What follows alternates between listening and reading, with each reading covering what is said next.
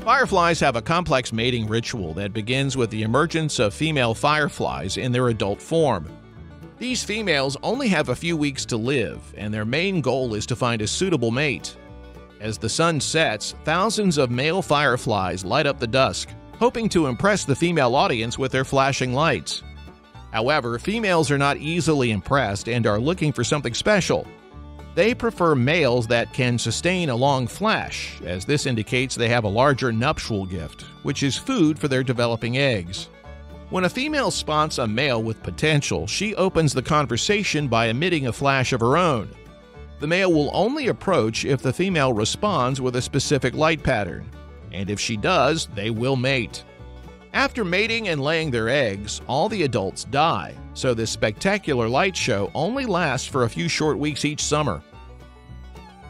We hope you enjoyed the video. Let us know in the comments what you'd like to see next, and we'll see you in the next video.